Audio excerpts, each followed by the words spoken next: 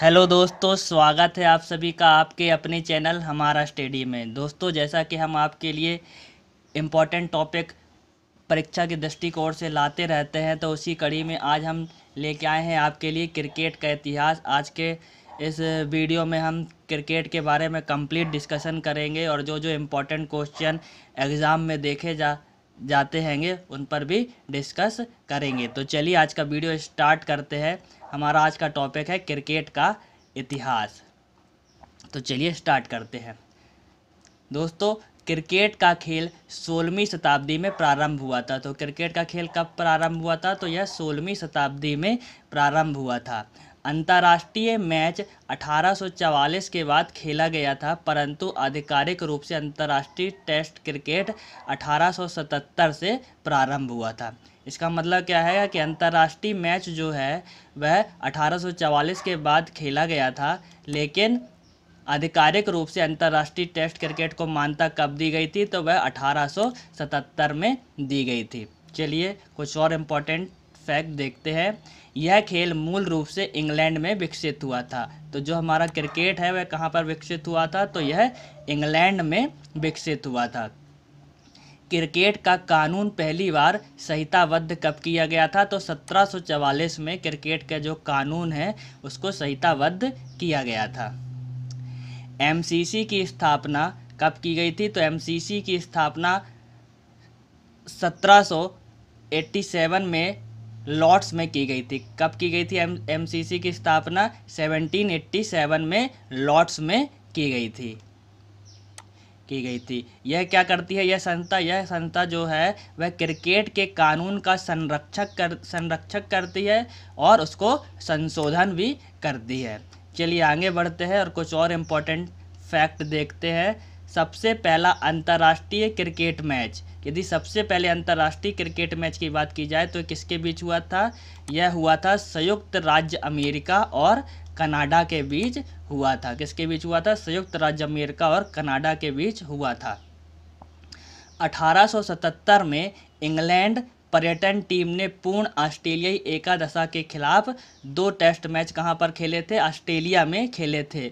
और दोस्तों, ये जो दो टेस्ट मैच खेले थे, इसे ही पहले अंतर्राष्ट्रीय टेस्ट मैच की मान्यता दी गई थी। तो किस टेस्ट मैच को, पहले अंतर्राष्ट्रीय क्रिकेट मैच की मान्यता दी गई थी, यदि यह पूछा जाता है तो यह अठारह सौ सतहत्तर में जो मैच हुआ था, इंग्लैंड पर्यटन टीम के, टीम और पूर्ण एकादशा ऑस्ट्रेलिया के बीच जो मैच हुआ था, उसको पहले अंतर्राष्ट्रीय टेस्ट क्रिकेट मैच की मान्यता दी गई थी।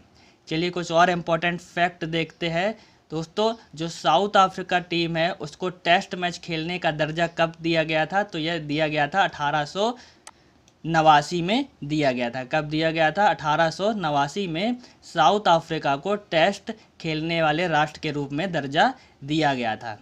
चलिए कुछ और इम्पोर्टेंट फैक्ट है। दोस्तों, ऐसे सीरीज़ आप जानते होंगे बहुत ही फ़ेमस सीरीज़ है। ऐसे सीरीज़ की जो शुरुआत हुई थी, यह कब हुई थी? यह अठारह बयासी में इसकी शुरुआत हुई थी। तो ऐसे सीरीज़ किन दो देशों के बीच खेला जाता है? तो आपको पता होगा कि यह इंग्लैंड और ऑस्ट्रेलिया के बीच खेला जाता है। चलिए अगला इंपॉर्टेंट फैक्ट देखते हैं। पहला एक दिवसीय मैच मेलबर्न क्रिकेट ग्राउंड पर 5 जनवरी उन्नीस सौ इकहत्तर को ऑस्ट्रेलिया और इंग्लैंड के बीच हुआ था। तो जो पहला एक दिवसीय मैच हुआ था, जो पहला वनडे मैच हुआ था, वह 5 जनवरी 1971 को ऑस्ट्रेलिया और इंग्लैंड के बीच हुआ था। चलिए आगे बढ़ते हैं। भारत ने अपना पहला टेस्ट मैच इंग्लैंड के खिलाफ लॉर्ड्स में कब खेला था? तो यह 25 जून 1932 को खेला था। भारत ने अपना पहला टेस्ट मैच कब खेला था? इंग्लैंड के खिलाफ लॉर्ड्स में खेला था 25 जून 1932 में। और इस मैच में भारतीय टीम के कप्तान कौन थे? कर्नल सी के नायडू जो थे, वो भारतीय टीम के कप्तान थे। चलिए आगे बढ़ते हैं। भारत ने अपना पहला टेस्ट मैच 10 फरवरी उन्नीस सौ बावन को इंग्लैंड से जीता था। किससे जीता था? पहला मैच कब खेला कब था? तो ये 25 जून 1932 को खेला था और पहला टेस्ट मैच भारत ने कब जीता? तो यह 10 फरवरी उन्नीस सौ बावन को इंग्लैंड के खिलाफ जीता था। चलिए कुछ और इम्पोर्टेंट फैक्ट देखते हैं। भारत की तरफ़ से टेस्ट क्रिकेट में पहला शतक यदि किसने लगाया था, यदि यह पूछा जाता है तो यह किसने लगाया था? लाला अमरनाथ ने भारत की तरफ़ से पहला टेस्ट शतक लगाया था। और किसके खिलाफ लगाया था? तो इंग्लैंड के खिलाफ मुंबई में यह शतक बनाया था। चलिए आगे बढ़ते हैं, आगे।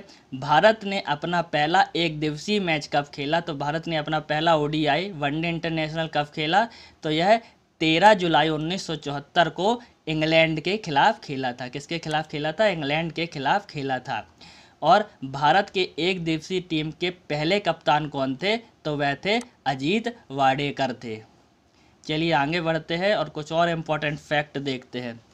अंतर्राष्ट्रीय टेस्ट क्रिकेट में सबसे पहला शतक, ऑस्ट्रेलियाई बल्लेबाज चार्ल्स बैनरमैन ने 1877 ईस्वी में बनाया था। ठीक है?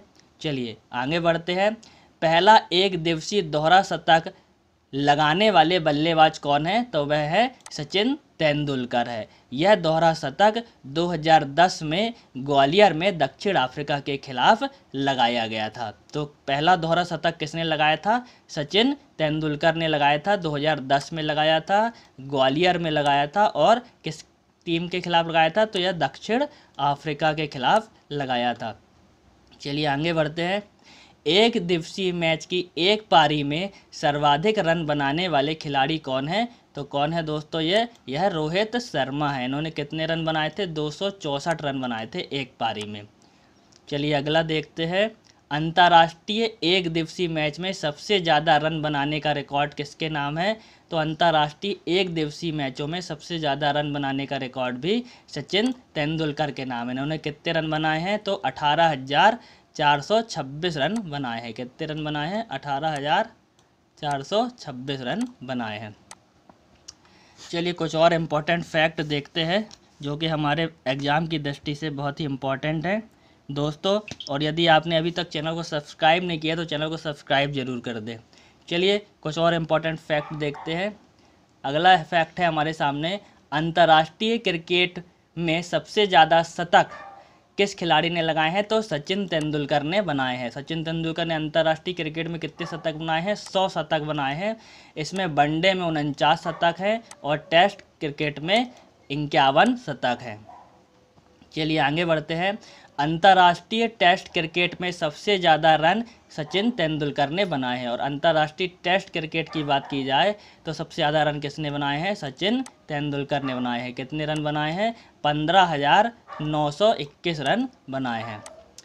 चलिए आगे बढ़ते हैं। अंतर्राष्ट्रीय टेस्ट क्रिकेट की एक पारी में सर्वाधिक रन बनाने का रिकॉर्ड किसके नाम है?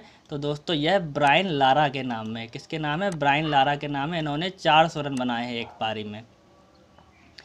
चलिए कुछ और इम्पोर्टेंट फैक्ट देखते हैं। अंतर्राष्ट्रीय टेस्ट क्रिकेट की एक पारी में सर्वाधिक रन बनाने वाले भारतीय खिलाड़ी कौन है? तो भारतीय खिलाड़ी कौन है? वीरेंद्र सहवाग इन्होंने कितने रन बनाए हैं? 319 रन बनाए हैं एक पारी में। चलिए आगे बढ़ते हैं। बहुत ही इम्पोर्टेंट फैक्ट है दोस्तों ये अगला। भारत ने पहला एक दिवसीय विश्व कप कब जीता था? तो उन्नीस सौ तिरासी में कपिल देव की कप्तानी में जीता था। ठीक है? चलिए, आगे बढ़ते हैं, आगे है। उसके बाद जो भारत ने दूसरी बार 2011 में विश्व कप जीता और किसकी कप्तानी में जीता तो महेंद्र सिंह धोनी की कप्तानी में जीता है। तो भारत ने एक दिवसीय विश्व कप कितने बार जीत चुका है अभी तक? दो बार जीत चुका है। चलिए, अगला इम्पोर्टेंट फैक्ट देखते हैं।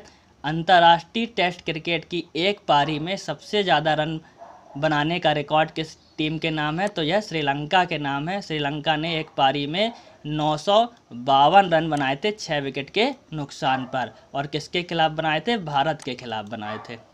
चलिए अगला और और इम्पोर्टेंट फैक्ट देखते हैं। अंतर्राष्ट्रीय टेस्ट क्रिकेट में सबसे ज़्यादा विकेट लेने वाले खिलाड़ी कौन है? तो कौन है दोस्तों? मुथैया मुरलीधरन जो है वह अंतर्राष्ट्रीय टेस्ट क्रिकेट में सबसे ज़्यादा विकेट लेने वाले खिलाड़ी हैं।